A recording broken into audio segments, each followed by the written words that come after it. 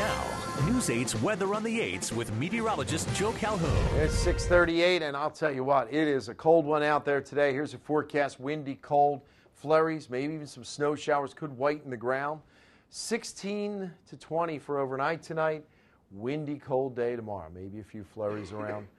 And we could get to 30, maybe a few spots near freezing. It's a little better, but not a whole lot. And again, the winds are still the big factor. Right now, 18 degrees, northwest winds at just 9. They've actually settled down a little bit, but there is going to be pretty windy out there at times today. I think those winds are going to be up around 20, 30 miles an hour. Here are all the temperatures around the valley. 20 in York right now, but 15 in Lewistown. Usually York's a cold spot, but had some cloud cover there. 18 in uh, Reading.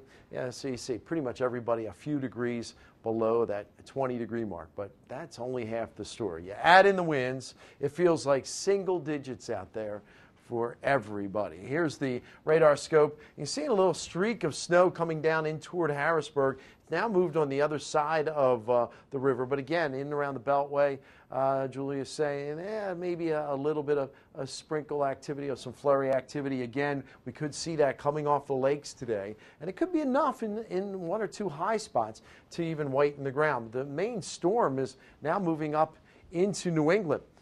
They're up in, in the 40s and 50s in Maine today. It's right now. Anyway, it's, it's, it's raining up there, but we're on the backside and the cold side, and that cold air goes all the way down into Florida. Look at the predictor. We're going to stay in that northwesterly flow of air. That keeps us dry, though. Oh, here comes this little precipitation, right? Well, we think this weather disturbance is probably going to kind of get squashed by this northwesterly flow and mainly go off to our south. So as we get into the day on Thursday. We'll start with sun, but then I think we'll see more clouds. Maybe some flurries with that system, but most of it stays to our south. Otherwise, just windy and blustery and cold. The rest of the seven day, I'll tell you what, it does moderate some, but not a whole lot. And the winds at least die down. Friday looks like a decent day. Saturday's not bad. Uh, but Sunday, we are keeping an eye on the possibility of a storm to the south. Uh, I'm going to keep a close eye on that. Right now, most most of the computer models are saying if we do get any snow, it's going to be on the light side. We're going to be in the northern fringe of this storm. But there have been a few computer models that have been saying, yeah, wait a minute, this storm may come farther to the north. So we will certainly keep an eye on that. Yeah, it'll be interesting to see what Yeah. happens. Some folks are rooting for a little snow. Right, I can a see little. it for Kinda nice Christmas. Little is the operative word. There you You're go. right. All You're right. right. Joe, thanks. Thanks, Joe. Well, coming up.